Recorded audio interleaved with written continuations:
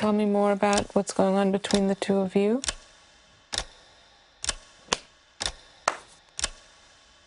We've been polyamorous for over eight years now. We crossed boundaries that shouldn't have been crossed. The yelling, the drinking, it feels helpless. You want to have sex, but not worrying about daycare and drop offs and laundry. I like dangerous sex.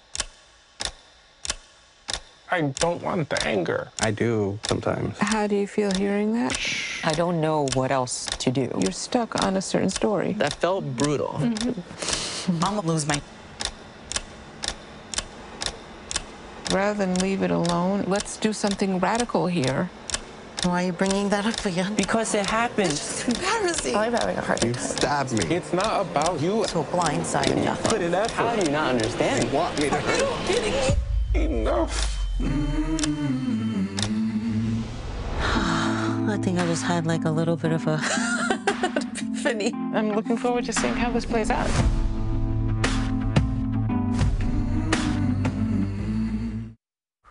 I'm getting anxiety just watching that there. Right? Couples therapy takes an in-depth look at the relationships that keep up and growing or it can hold us back. And now season four is out and already making viral memes on social media. Yeah, one guest even says they'll wait until middle school to raise their kids. Hmm, wonder how that went over. Right? Dr. Orna Guralnik, the host of the show, joins us now. Thanks so much for being with us this morning, Orna. Good morning.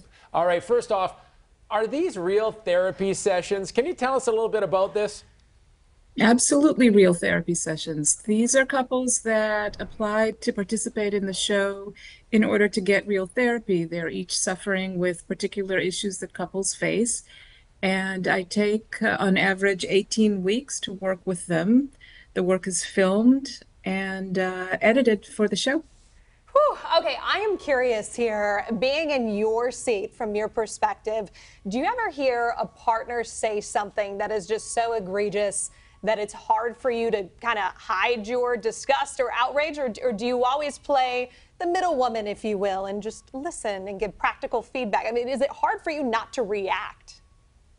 I think, I mean, that's a good question. I think my reactions are sometimes useful clinically. I mean, if someone says something that is really egregious, my reactions should guide the couple to, in a way, give them a certain kind of boundary as to what is an appropriate thing to say, both in therapy and to your partner, and what is just going too far.